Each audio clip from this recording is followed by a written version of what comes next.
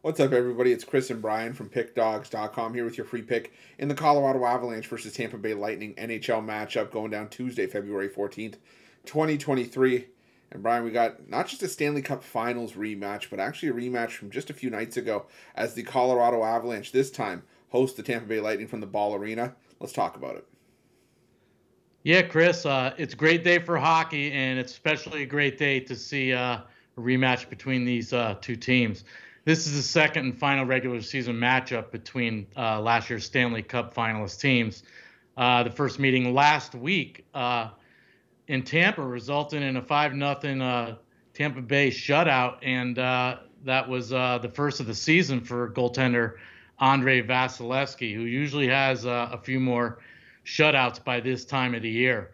Um, I I think the Avs uh, will get some of their problems corrected and uh, and get a lot more shots on goal. Um, I'm I'm I'm also hoping that those shots on goal will result in in getting goals past Bobrovsky. I mean past Vasilevskiy. I'm sorry. Um, I think both these teams do get a lot of goals. I think we do get a lot of red lights. These teams are definitely have the potential to light the other team's lamps. I'm going to take the over six goals in this game. That's my story, and I'm sticking to it. Yeah, for me, there, there's certain things that I've learned in life that aren't that just aren't good ideas.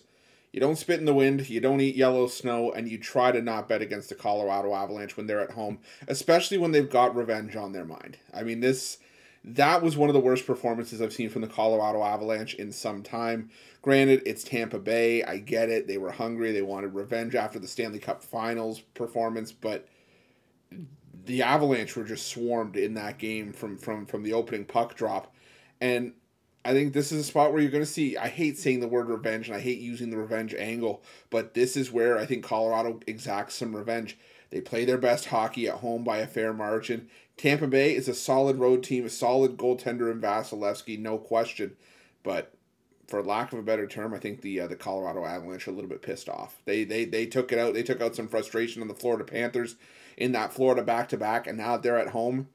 I, I have a bad feeling about this one for the Tampa Bay Lightning. Not going to happen often for the Lightning, but I think the Avalanche get a get a big win in this one, so I'm going to take the Colorado Avalanche on the money line here.